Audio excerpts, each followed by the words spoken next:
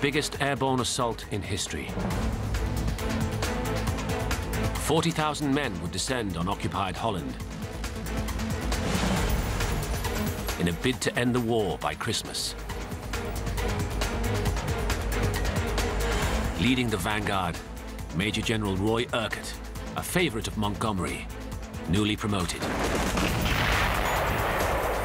And when the mission hit trouble, the general would have to dive headlong into the battle to save his men. Dodging German sniper fire, he'd become trapped in a lethal game of cat and mouse. To rescue his troops, he would have to escape himself in one of the most savage battles of the war. And then escape again, leading 2,000 shattered men out of the tightening grip of German forces.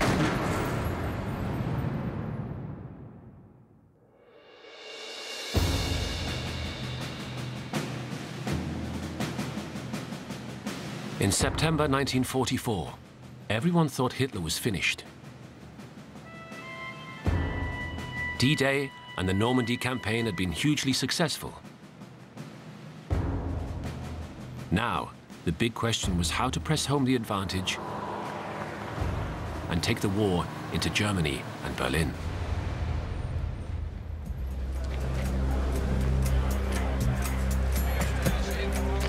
Success had brought with it its own problems.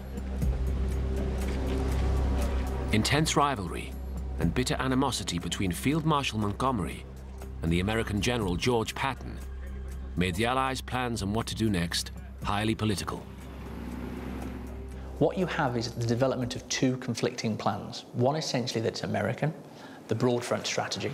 The Allies should actually push forward along a broad front, uh, try and wear down the Germans. The competing plan is the narrow front strategy, extolled by Monty. It says that what the Allies should do is concentrate their forces and attack Germany in its heart, but from a point that it wouldn't really expect. Montgomery lobbied the Supreme Allied Commander, Dwight Eisenhower, and argued hard for his strategy to be chosen. He claimed he could send a strike force that would skirt northwards across German-occupied Holland and around the German defensive wall called the Siegfried Line.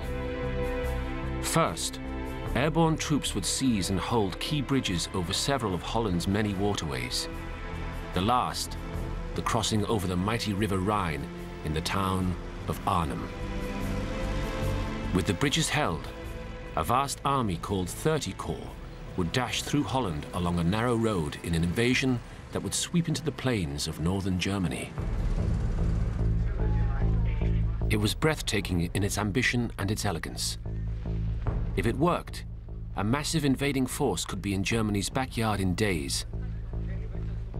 And Montgomery would take the prize of Berlin, ending the war by Christmas.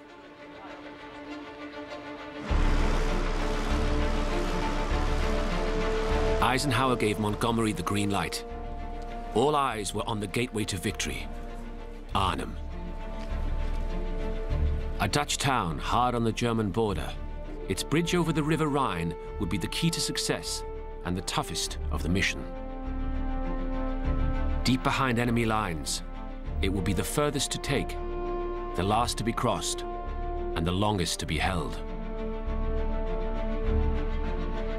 Determined to seize it, the 12,000-strong British 1st Airborne Division, among the fiercest fighting men in the British Army. Leading them, Major General Roy Urquhart. Monty was very good at spotting talent. So in the case of Urquhart, he saw him as a man who was capable, who was very good under pressure, could think independently, was very good at gaining the respect and trust of his men. These were all qualities that you would actually need if you were going to lead an airborne division into combat. Although Urquhart had no experience commanding airborne troops, he was well known as a fierce warrior in battle. Leading his men into Sicily, he'd already shown great daring and physical courage. But his promotion meant an altogether different kind of soldiering. As divisional commander, Urquhart's job was not to fight, but to take a step back. Use his brains, not his muscle. This time, he'd have to lead his men from a war room in a divisional headquarters, thinking tactically about the battle and how best to deploy his forces, all the while keeping a cool head. Success at Arnhem could be the first rung on the ladder of truly great things as a career general, and a chance to shine as the star who led Monty to Berlin. On September 17, the word was given that Operation Market was on, and the airborne army prepared to go into action. The great Allied air fleet, which was to deliver more than 39,000 men on this operation, 11,000 of them to Arnhem.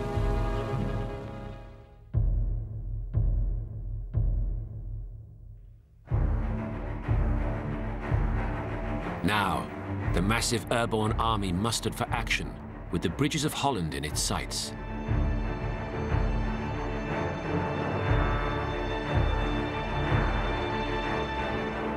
Fifteen hundred airplanes and 3,000 gliders would carry 37,000 British and American men, 1,700 vehicles, and 3,000 tons of ammunition. At first, Urquhart's men were cynical about the mission. Sixteen times since D-Day, they'd been primed for action, only to have each operation called off. So when the call came again, few were certain they'd be fighting soon. Everybody was still in a pessimistic mood that it would again be cancelled at the last minute. In fact, they were still betting on it the very next morning.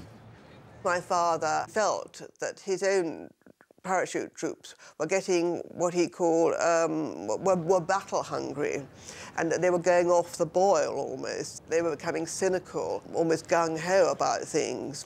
And actually several of the parachute people I've talked to said, you know, we'd have gone whatever, we'd have let, jumped on Berlin if, if that had required that.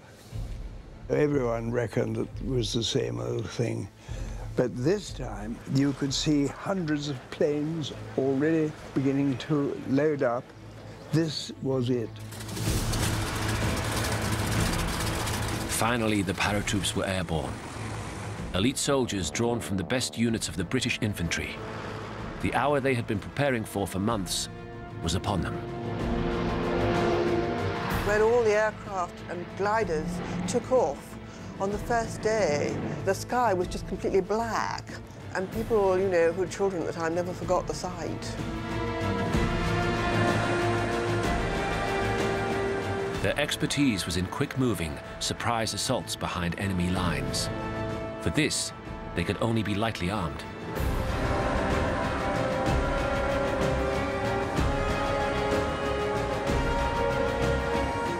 Drop with only the weapons and armor that could be carried in prop planes towing plywood gliders.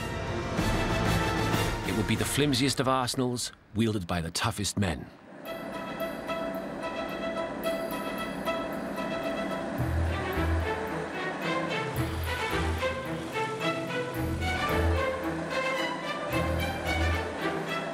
On paper, the mission was simple to take a bridge in a surprise attack behind enemy lines with great speed, then to hold it for two days while the land invasion of 30 Corps caught up. But before the general arrived on Dutch soil, he knew the obstacles to be overcome were daunting. This would be no ordinary battle. Taking and holding the bridge at Arnhem was hard enough, but the plan presented his men with some extraordinary challenges. And as they looked down on the dikes and fields of Holland, the first obstacle in the mission dawned. They would not be landing close to their target. Instead, they'd land miles to the west, then march through enemy territory to get to the bridge for the surprise attack. And somehow, they would have to do this undetected. It's all about surprise, it's all about getting to the bridge. That's going to put you at a disadvantage straight away. Urquhart knows this. He's aware of the disadvantages of the plan. But he's basically told by his commander, Browning, that's what you've got. You've got to get on with it.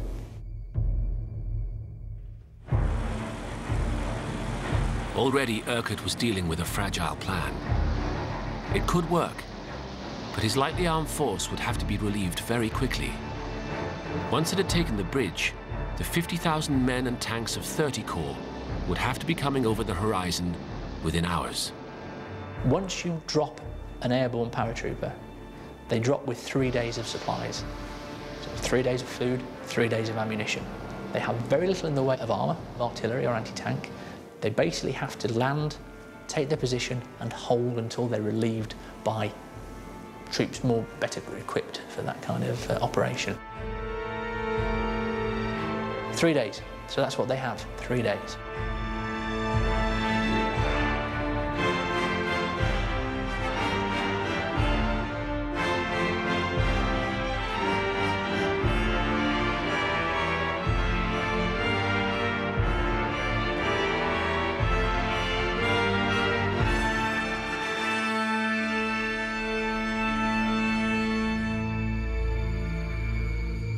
At 2 p.m. on Sunday, the 17th of September, as the first paratroops and gliders touched down on Dutch soil, the plan went live. Speed was now of the essence. Under clear skies, the first hours of Operation Market went exactly to plan, and the great airborne army organized itself for action on the ground. As the maneuvers that had been rehearsed countless times unfolded, officers and men were encouraged by the expectation that they would meet light German resistance. It's a plan that can't withstand any negative impact on it. If the Germans make any serious attempt to resist the Allied operation, it has the potential to unravel because timings are so critical. It's a great plan, but as, uh, as the Polish commander, General Sosabowski, said, what about the Germans? Completely unknown to the men marching into Arnhem, stationed three miles away was one of the fiercest and most lethal tank divisions in the entire German army, and it was now speeding towards them. It would be backed up by crack SS troops, hardened by years on the Russian front. And finally, there were expert and seasoned German paratroop commanders who knew exactly how to destroy an airborne attack. These were not the old men and young boys Urquhart had been told to expect.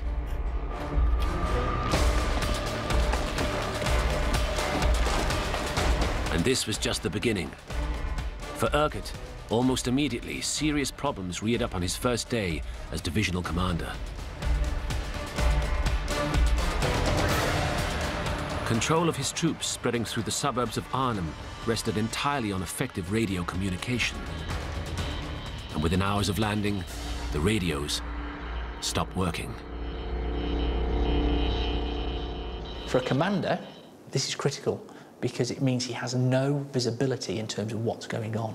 The radio allows you to interface with your eyes and ears because your eyes and ears are the brigadiers, brigade commanders, uh, even the company commanders. And, and, I think sort of more or less straight away during that first day and certainly going into the next, this is when he starts to become uncomfortable. At first, everything seemed to be going well. Two units from the 1st Parachute Brigade marched rapidly to Arnhem and quickly dispatched what little resistance they met.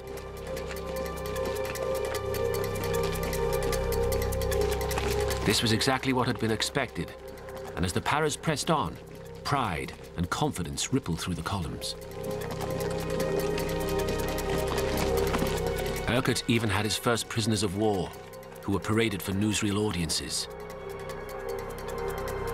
And Dutch locals, delighted by their liberation, came out to greet their conquering heroes.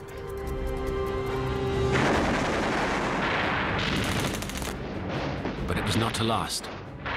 German resistance was now rapidly organizing, and an advance party of Paras speeding to the bridge by jeep was wiped out.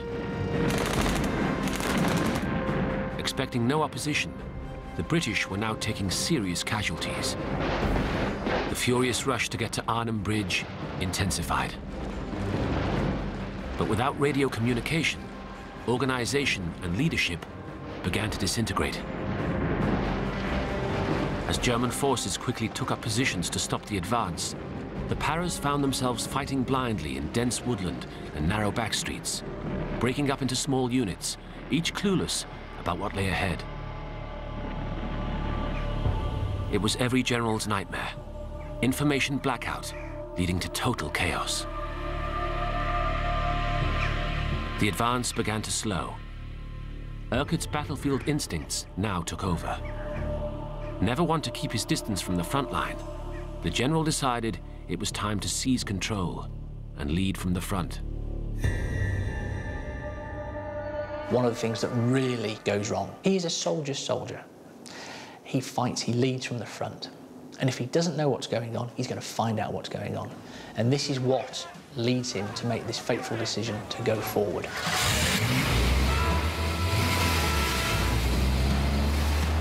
Urquhart did what a divisional commander should never do and dived into enemy territory.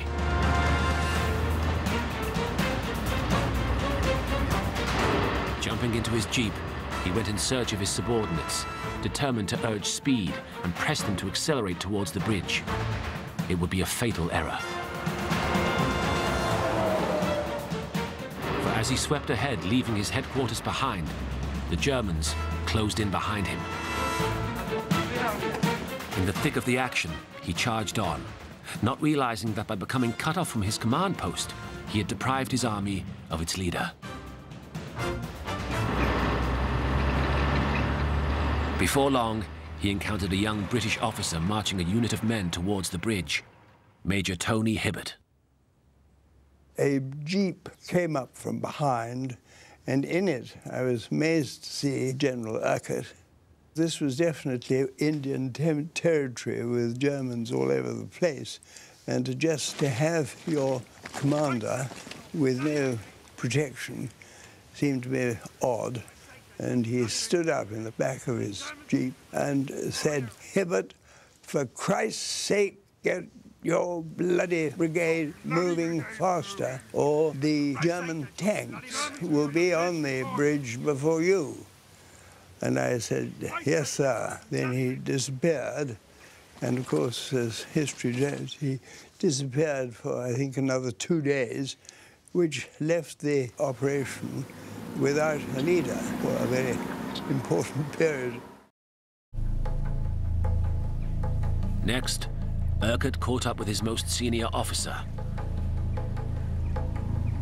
but now had to advance into Arnhem a passenger, unable to command and unable to return.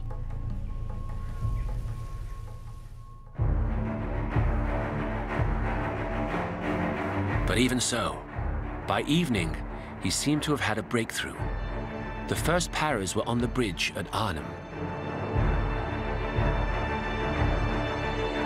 A battalion led by the legendary commander Colonel John Frost now held the north approach, and they waited for the other paras to join them.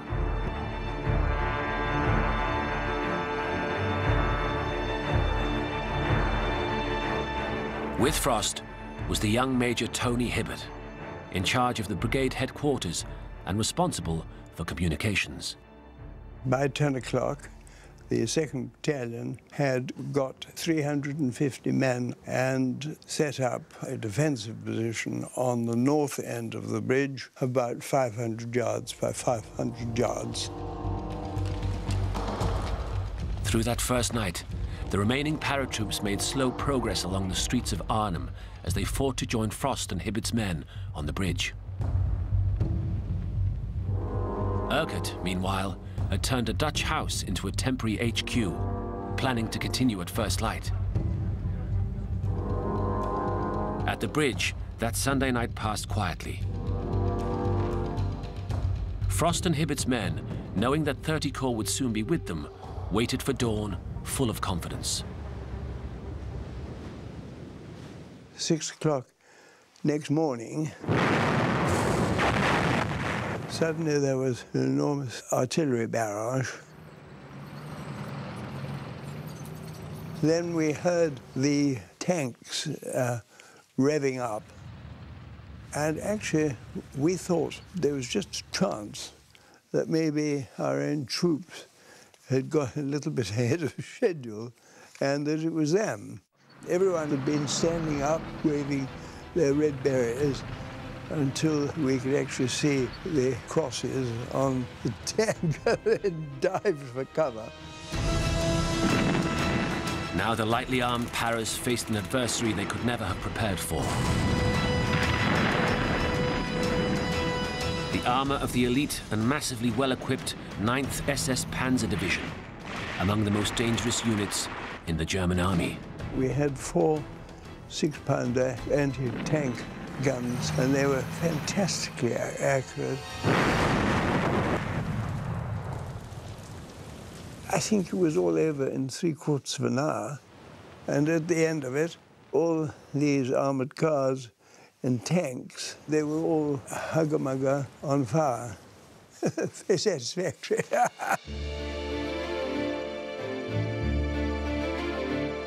Incredibly, and against all odds, the Paras had fought off the German tank assault. It would be the high point of the first day, and optimism surged at the bridge. But as Frost and his men congratulated themselves, the full consequences of Urquhart's decision to charge ahead and get cut off from his HQ became clear.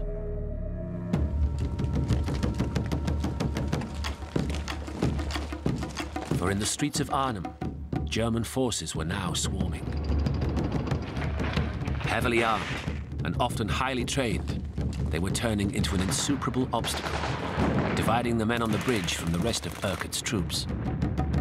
This is an extremely intense battle. This is urban fighting, just about the worst kind of experience that a soldier will have to face. Fighting in a built-up area, not knowing what's around the corner, watching as your, your mates, your friends, your, your colleagues are injured, wounded, killed, running out of ammunition, running out of food, running out of water. And as the commander, you obviously want to try and minimise their exposure to that. You want to use them to best effect. And Urquhart can't do this because he doesn't know what's going on. He simply has no idea. Any hope that Urquhart could return to his command post was out of the question. With only a pistol to fight with, all he could do was stick with his men, now scurrying through back streets, dodging snipers, and clambering over garden fences. No one had any idea where he was, and he was given up for dead. There's nobody coming for Urquhart. By this stage, British command had moved on. Urquhart's gone, could be dead, could be wounded, could be captured, who knows. There was no rescue party sent for him. They don't know where he is. With no clear instructions on Urquhart's succession, a power struggle broke out among his deputies, each claiming superiority. The British invasion force, with no communications internally or with the outside world, was now effectively leaderless.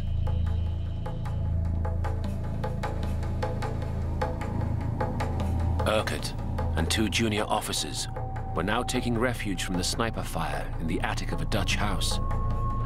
As they hid, a German tank took up a position outside. They were trapped. It would be a long wait, and the general could only contemplate how his big break to run a high-profile operation was going.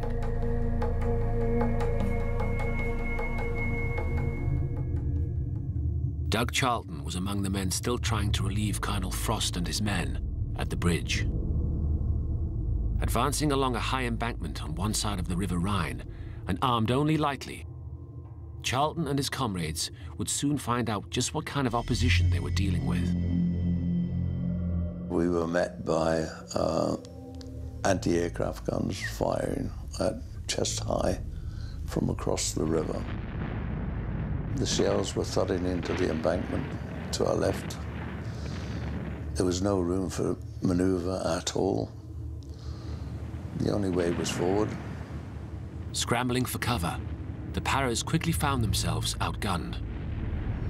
What was left of the battalion was very few, about 15, 20. Set up defensive positions in, in three houses. About 7 to 7.30 a.m., the Germans came with tanks and armor, Tiger tanks firing at point-blank range through the houses. which gradually fell to pieces. There's no defense against that sort of thing. Machine guns covering every exit. Overwhelmed by massively superior firepower, there was nothing for Doug and his comrades to do but surrender.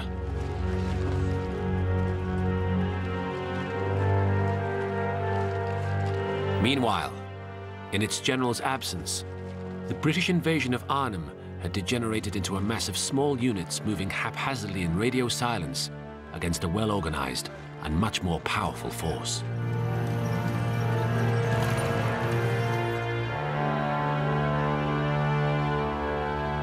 Its leader, the divisional commander, Major General Roy Urquhart, was powerless to help them.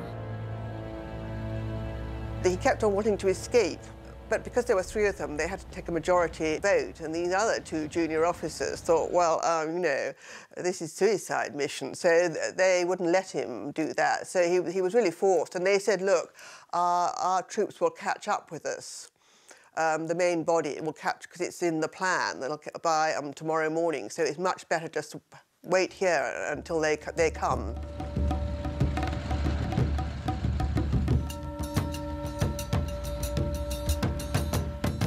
Eventually, a chance movement of the battle around him gave the general the opening he had been waiting for.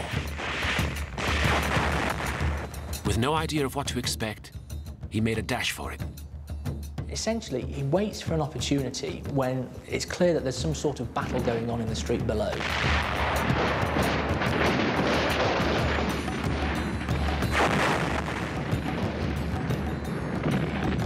And as he comes out of the house, one can only imagine prepared for any eventuality. It happens that it is elements of his own troops that are moving forward. He comes out, his troops are there, double take, ah, General, uh, everybody's been looking for you. Um, Transport's found for him immediately, jumps in the transport, and he's off. And he heads back to his headquarters.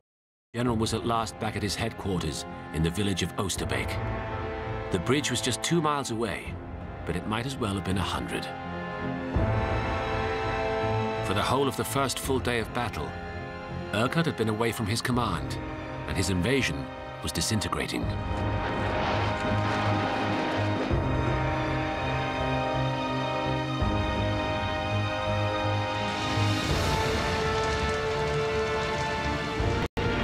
Now, the battle to reach the bridge had ground down into a slaughter, pitting paratroops prepared only for light opposition against a fully equipped German force.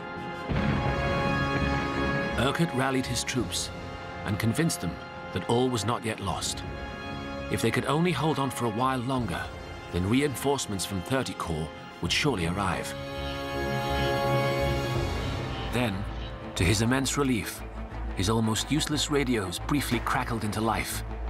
They brought some truly exciting news from Arnhem's neighboring town of Nijmegen, just 10 miles away.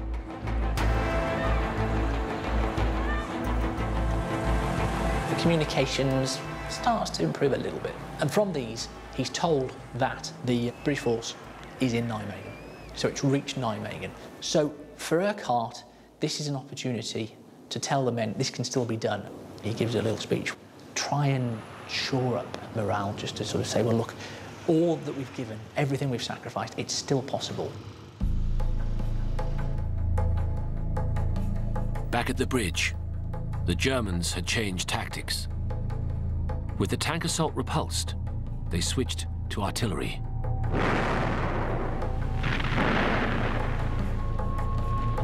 They demolished houses occupied by Frost and Hibbert's men with both high explosives and phosphorus shells. Their first target was the school building occupied by Tony Hibbert and his men, which had a field hospital in the cellar.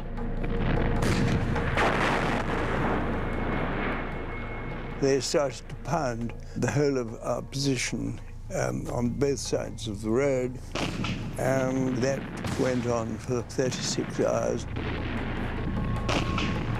Brigade headquarters had the field ambulance in the cellars.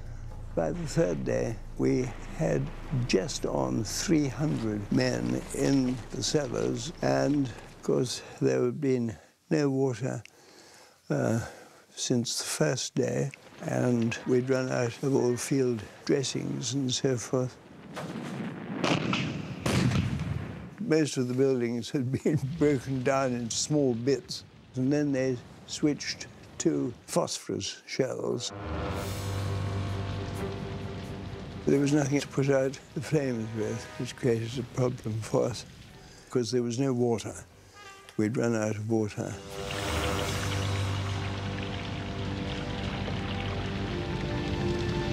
Major Hibbert knew he had to act to save his wounded men from being burnt alive in the cellar. With minutes to spare, he turned to his enemy for help, unsure of what compassion he could expect. At 10 o'clock on Wednesday, the fires in brigade headquarters uh, went out of control. And of course, we had all these people in the, in the um, cellar. So we asked the Germans for a two-hour ceasefire to enable us to get our men out of the cellars before they were burned. The Germans were very good, and they sent quite a lot of men, of their own men, to help. And it was a close run thing, but eventually we got everyone out before the flames got them. Meanwhile, the few remaining men of Doug Charlton's battalion were now in the hands of the Waffen-SS. Months in a prisoner of war camp loomed ahead. But before being marched off to Germany, Doug was allowed to take his wounded comrades to the town's hospital. In the chaos of the battle, few paid attention to the exhausted POWs. They took the wounded in, and um, just everybody was just standing around. There was as much confusion as you can understand with the battle going on all around. The German soldiers then became distracted by the British supply drops falling into their territory. Doug saw a golden opportunity and took full advantage. They were smoking English cigarettes and eating Cadbury's chocolate and were rubbing their hands in glee at the resupply drop. More goodies for us because they kept saying, not for you, Tommy. Uh, it was for them. You get one chance to make the right decision, one window of opportunity. And I just wandered off. The Paras were now coming to the end of their third day and were almost out of ammunition. Any hope of fighting through the blisteringly strong German lines to join the unit on the bridge had completely faded. The general now pulled his remaining force of some 3,500 men into a mile-square defensive pocket enclosing Oosterbeek and prepared to hold off the Germans now encircling him.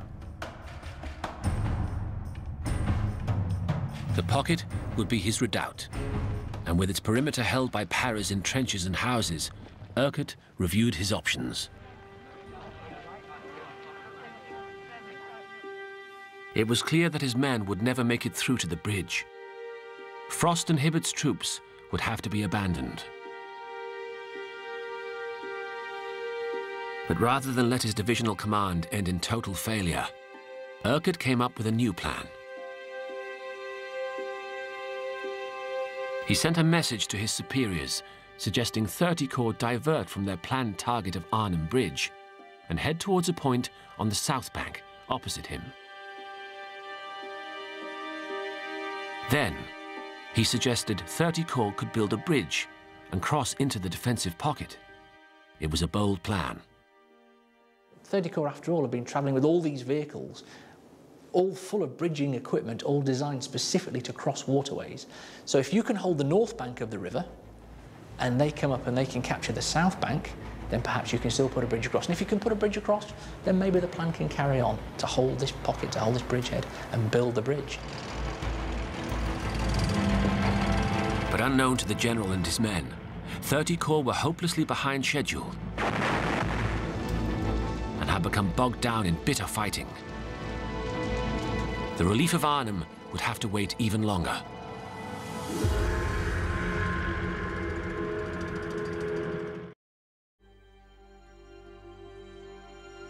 Meanwhile, back at the bridge, fires engulfed the headquarters of Frost and Hibbert's beleaguered battalion. With artillery raining down, it was clear they could hold on no longer. Major Hibbert split his men into small bands and had them attempt to sneak through the German infantry lines, but they were quickly captured. They had got about uh, 80 or 90 of us, and they were moving them back to Germany in open lorries, each one taking about 30 of our men. But Major Hibbert and his men were trained not to regard capture as the end of the war and make escape a duty. I'd been an intelligence officer, and I used to give lectures to all the troops um, on what to do if, uh, if you're captured. And I said, your first duty is to get away. And the easiest time to get away is the first 48 hours. You will find yourself in a position where suddenly someone's not looking. That opportunity was soon to present itself. But the biggest challenge was the moving lorries. Hibbert and his comrades had to make them stop long enough so a jump for freedom would be possible. For the first 10 yards of getting up speed, it was the, you could actually jump off the lorry. So we worked up this plan. We'd irritate the Germans sufficiently that they would come and stop and, and, and warn us. So as our van went through the town, we started giving the, the V sign to um, the Dutch to cheer them up, and which they replied to. And this infuriated German Guard, a young corporal about 17, who had a Schmeisser. He, this infuriated him. So he stopped twice and said, if you do this again, I will shoot. Anyhow, we stopped a third time and uh, had arranged with one of the other officers. We both jumped off and uh, he jumped a wall and I've jumped the other side and I managed to get away and joined the uh, Dutch resistance. But Major Hibbert's bid for freedom came at a price. The corporal put a ma magazine in his Schmeisser and shot six of our chaps dead. And um, uh, it, well, from my point of view, it is the worst thing that happened to me. I, I was solely responsible and uh, that was it.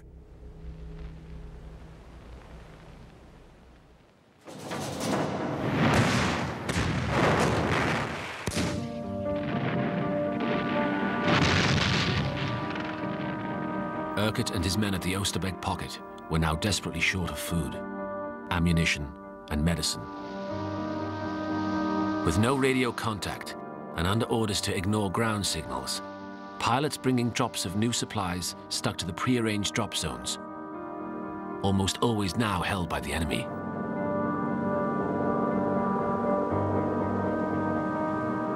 The men on the ground, they try their hardest, they try and rig up some sort of signalling mechanisms, but these have very little success. It means that they have very little in the way of ammunition. Uh, it means that they have very little in the way of food. Uh, Urquhart himself says that actually he didn't realise that he probably didn't eat for the best part of six days. By now, Doug Charlton had made his way to the perimeter and rejoined Urquhart's force. He soon found himself in the thick of the action.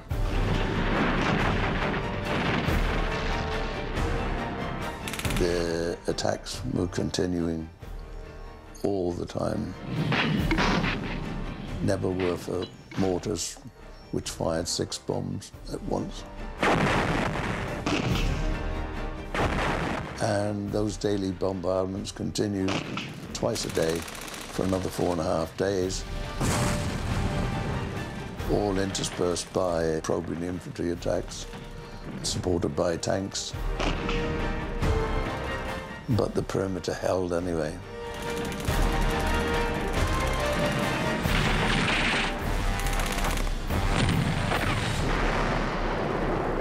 But it caused a lot of damage. The casualties mounting up all the time.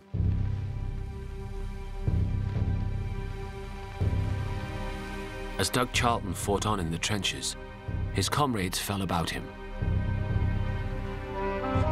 Overloaded dressing stations acted as a constant reminder of what he could expect if he got hit.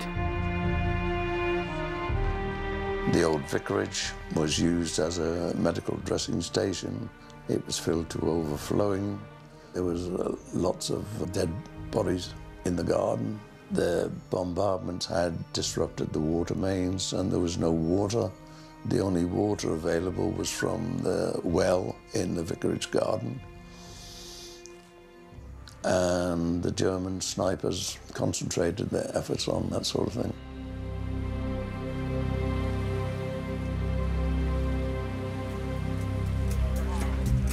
The Paras had now been holding out for over a week, far longer than the plan had originally envisaged, and longer than they had been equipped for. The Germans have worked out what's going on. They've worked out that essentially they have defeated the British force that's landed. Um, now it's a question of time and slowly squeezing them in and essentially um, street to street, um, street fighting, uh, house to house fighting, the Germans moved uh, towards a system of uh, essentially using their superior firepower, using their tanks and their artillery to flatten the buildings progressively, to force the troops back into a point where they are either destroyed entirely or they surrender.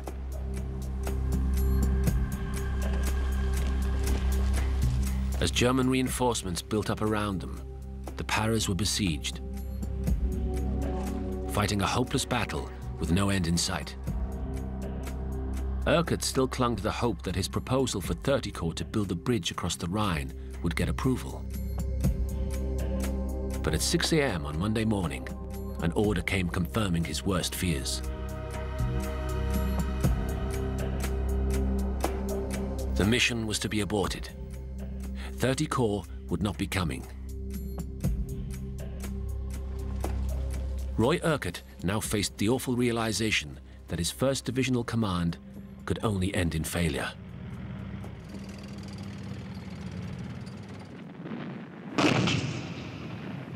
Urquhart is very upset about the decision.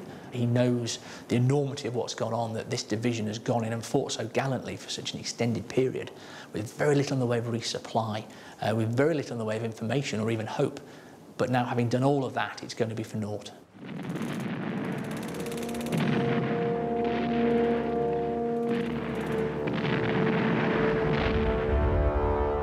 The men around Urquhart knew now that they were alone and completely surrounded. There was no way out through the encircling Germans. Escape would be suicidal. The options were bleak.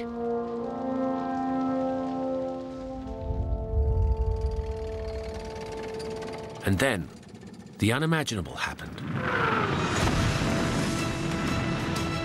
Without warning, British artillery shells exploded all around, crushing the enemy positions. 30 Corps' mission may have been aborted, but they were still close enough to help. British artillery that has now reached Nijmegen is called into effect from the Nijmegen area to support the pocket and proves incredibly successful. Without any spotters on the ground, without anybody to give them absolute coordinates, they're able to bring in this fire from 10, 11 kilometres away and it helps keep the pocket going. And it's that actually in the end which will be crucial in allowing the escape to take place. Urquhart sees this, his only chance. Something at least could be salvaged from his disastrous first command he could get his 2,000 most able-bodied men to safety. So he came up with Operation Berlin, a plan to sneak his men across the Rhine under the cover of darkness. Unfortunately, it meant leaving the most severely injured behind. A message came through that we were being withdrawn over the river that night. I was detailed to help the Padre with the evacuation of the walking wounded. He'd already selected the people who, who he thought could make the journey down to the river. Operation Berlin was Urquhart at his best, improvising, thinking on his feet in the heat of battle. He was a, a sort of independent person. He just liked operating on his own, only having to consult his staff. At the beginning, when he was following other people's plans, that's when everything went wrong. And at the end, when he was on his own and he had to just sort of pull together the remnants and um, make do with what he had, then he was much better. Everything depended on stealth. Complete silence would be essential. Complex artillery plans were drawn up, encrypted, and signaled to focus Allied firepower through the night. Meanwhile, the escape route was carefully plotted. The day leading up to the evacuation had been spent marking out the routes that would be taken. So engineers basically run lines of tape down towards the river bank to allow parties of, of British soldiers and some Poles and, to form up into groups and then follow the, the, the route down to the river. The start of the evacuation was set up for 10 p.m. Urquhart ordered his men to shave and blacken their faces. Boots were wrapped in cloth, rifles taped to prevent rattling. With great tactical skill, the general enacted a classic deception operation. As the escape progressed, he ordered his men to escalate attacks at the perimeter. Artillery from 30 Corps screamed down bang on time. To the enemy, it looked like the start of an offensive. With the Germans on the back foot, the general gradually pulled back his units, one by one, through the hours of the night, till only a few remained. We trundled through the woods in single file, pouring rain, being guided by the occasional glider pilot. Got to the riverbank. We stopped about 50 metres short.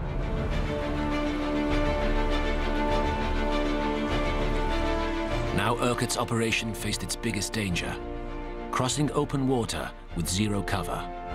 Upstream and downstream, German machine gunners, who could easily destroy a boatload of men in a few moments, only saw darkness in the pouring rain. It was all very gentlemanly. The people who were closer to the riverbank gave way to the men with bandages and the wounded and gave up their places in the boats for them. This carried on until the early hours of the morning. As dawn broke, it was clear that Urquhart had pulled it off. Some 2,400 men had been brought to safety.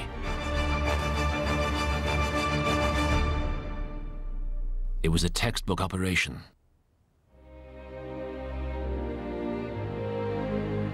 It's often described as one of the most successful elements of the entire battle. The wounded stay behind with the doctors and the padres who stay with them, um, but the rest of the defending force largely is able to be extracted. Masterminding this narrowest of narrow escapes would be Urquhart's greatest achievement, and he was rightly praised for it. But some 6,000 of his men ended up as prisoners of war, and 1,400 had been killed.